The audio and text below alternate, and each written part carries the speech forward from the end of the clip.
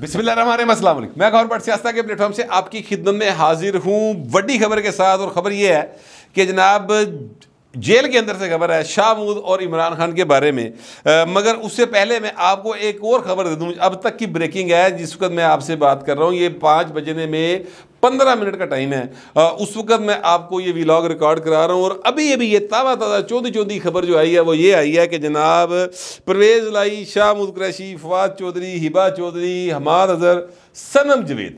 ये इलेक्शन नहीं लड़ सकते। अली बाकर नजवी साहब की यानी सरबराही में तीन रुकनी बेंच लाहौर हाई कोर्ट का बैठा हुआ था। इन सब के केसेस को सुना गया और उसके बाद इस लाहौर हाई कोर्ट के तीन रुकनी फुल बेंच ने फैसला दिया है कि जनाब ये इलेक्शन लड़ने के लिए ना अहल हैं। अच्छा अब इसकी तफसीत अभी मेरे पास नहीं आई, मगर मैं वैसे अगर मैं गुजारिश ये करूँ कि अगर आपने इलेक्शन लड़ना है और यूथियों को ये बड़ा जोम है या ये बड़ा कहा जा रहा है, सारे टीवी चैनल पे बैठे या सोशल मीडिया के ऊपर बैठे लोग या आपको कोई राह जंदे भी कोई यूथिया टकर जाए जैसे मुझे आज एक टकरा, मैं उसकी दास्तन सुनाता हूँ आपको, वो जो हैं, वो आपसे ये कहेंगे, जी, वोट तो इंज पैने हैं जनाब जिमें बस चोर छितर पैंदे भाए चोर न छितर पै रहे हैं। ठीक है? तो बार वोट बार नहीं हंसना पैना। जो हारने वाला होता है, उसको पहले ही वोट नहीं पड़ता। मैं आपको इसकी कुछ वजूहत जो हमारी सोशली हैं, वो बताने लगूँ। पहली बात, जो मेरे साथ, अपने साथ एक वाक़ हुआ, वो ये है कि 2006 के अंदर मैं प्रेस क्लब के इलेक्शंस कंटेस्ट कर रहा था, ये लाहौर प्रेस क्लब के। और मैं ज़रा ना बागिया करेक्टर था शुरू तो ही।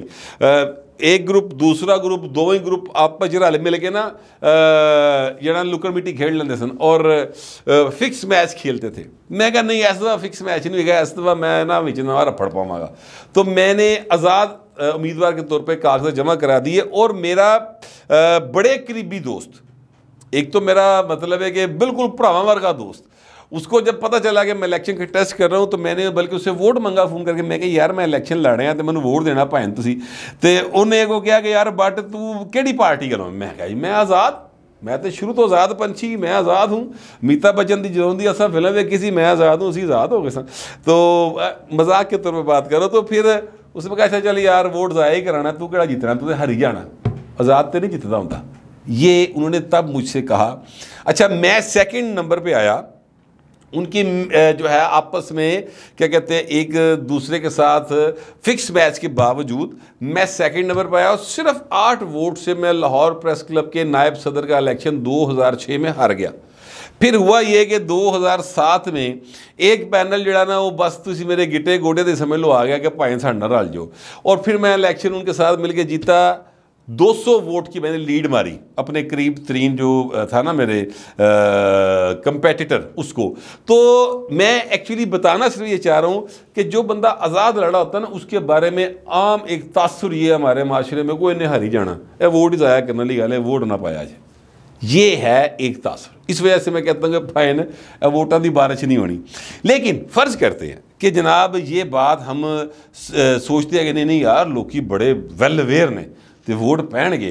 तो सर, मैंने कल भी गुजारिश की थी कि एक हल्के के अंदर चार से पाँच हज़ार एक्टिव बंदा चाहिए, बंदा बुढ़ी जो एक उम्मीदवार को चाहिए होता है इलेक्शन कंटेस्ट करने के लिए, रन में आने के लिए ना, यानी पहले, दूसरे, तीसरे नंबर पे आने के लिए।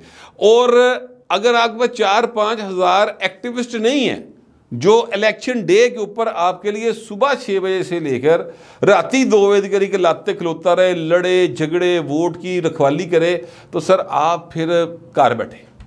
फिर आपको आपका टाइम फ़िश है बोलो राम है। अच्छा अब ये जो लोग हैं यूथिया ब्रिगेड इनके दिमागों की हालत कुछ यूँ है कि आज मैं प्रेस क्लब गया आ, मुझे ज़रा भूख जी फील हुई थी मैं कहा चलो आ, सस्ता और अच्छा खाना खाने के लिए प्रेस क्लब चले जाते हैं। नवी नवी इंतज़ामी आई तो चलो आ, कुछ चंगा बनाया होएगा। वैसे ठीक ही था। बाहर वहाँ पर चले गए खाना खाने। एक यूथिया मुझे टकर गया, साफ़ी यूथिया। और भाई ने पूरी दुनिया दौरे किए हैं। नाम मैं नहीं लूँगा क्योंकि वो इतने मरूफ भी नहीं और अच्छा भी नहीं लगता, मेरा बिल्कुल छोटे भाई हम की तरह, मगर यूथिया हो गया। मैं सिर्फ़ एक्चुअली एक जहनीत की बात करने लगा हूँ।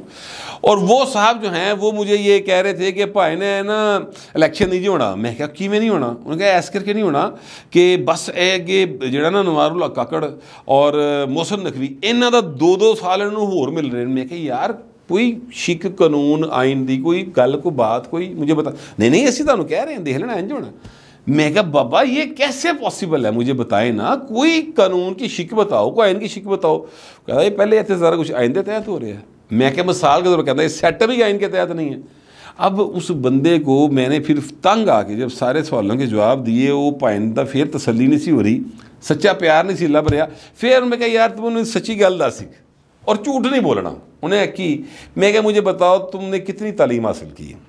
अंग्रेज़ी अखबार में तुम काम करते हो, कितनी तालीम है तुम्हारी? तो भैन के कोल जवाब नहीं सी।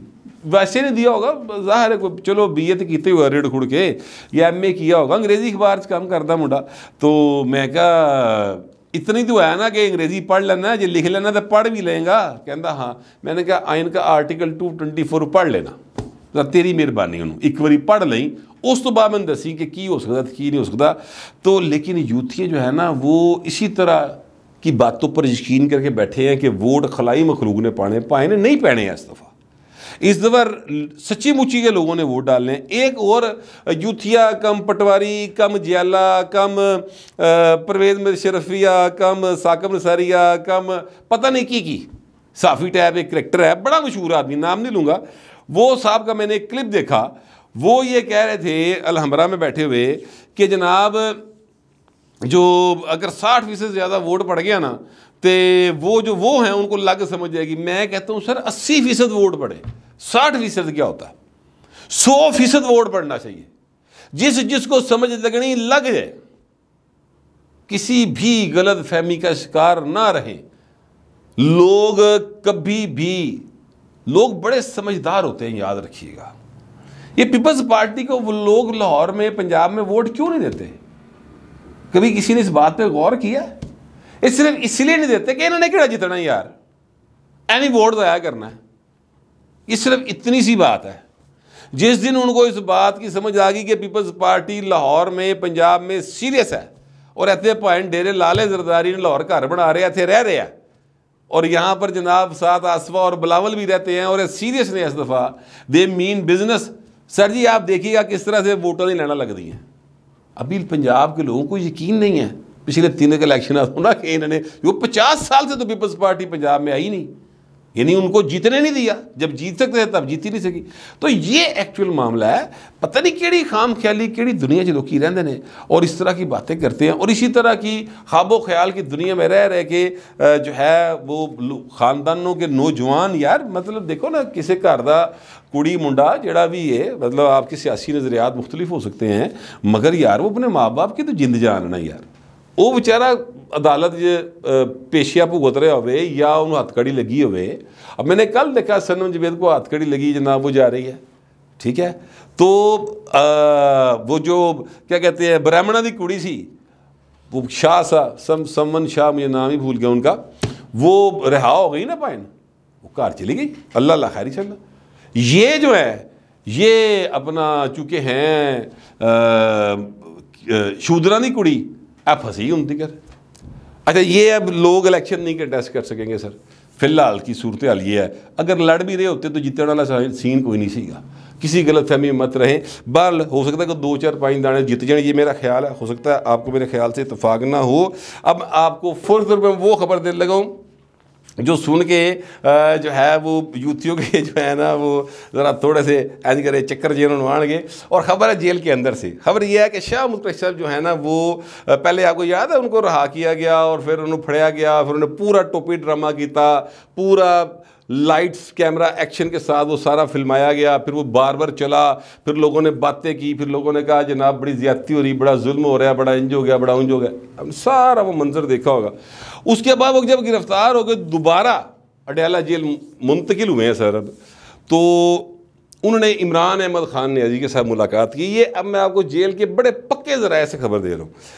और वहाँ पर उन्होंने इमरान खान से कहा कि हाँ साहब, आ किड़े पासे पे हैं असं दोवें जने? ਉਮਰ ਦੇ ਇਸ ਹਿੱਸੇ 'ਚ ਸਕੂਨ ਦੀ ਜ਼ਿੰਦਗੀ ਗੁਜ਼ਾਰ ਰਹੇ ਤੁਸੀਂ ਵੀ ਮੈਂ ਵੀ ਕਿਹੜੇ ਚੱਕਰ 'ਚ ਪੈ ਗਏ ਹੋ उन्होंने दसो करो बात उन्होंने कहा बात यह है कि मैं आपको बताता हूँ फार्मूला है और मिल मुल के दोबारा चल पैने हैं आप अगर कुछ हमें गो एड दें उन्होंने कहा फार्मूला पहले मेहनत देना ओके मेरे पास ऑफ़र है उन्होंने कहा क्या ऑफ़र उन्होंने कहा ऑफ़र यह है कि सर आप माइनस और खामोश फिलहाल सुकून डाट काम रोला ना पाओ, चुप करके बैठे रहो। मैं बाहर जाना, बाहर जाके पार्टी सीधी सुधी करना।